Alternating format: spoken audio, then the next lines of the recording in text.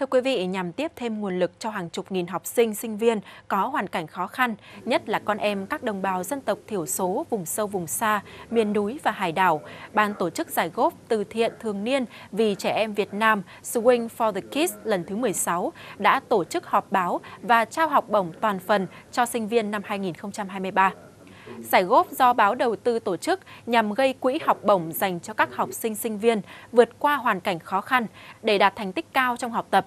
Trong 15 năm, ban tổ chức đã huy động được số tiền hơn 20 tỷ đồng để trao tận tay hơn 20.000 suất học bổng cho học sinh, sinh viên nghèo vượt khó, học giỏi và hỗ trợ sửa chữa, nâng cấp các cơ sở học tập tại 40 tỉnh thành phố trên cả nước. Ban tổ chức cũng trao 5 suất học bổng toàn phần năm 2023 trị giá 10 triệu đồng một suất cho 5 sinh viên và 5 suất học bổng Si Banh trị giá 6 triệu đồng một suất cho 5 em học sinh. Các em đều có hoàn cảnh khó khăn nhưng đã vươn lên đạt thành tích học tập tốt, tư cách đạo đức tốt trong năm vừa qua.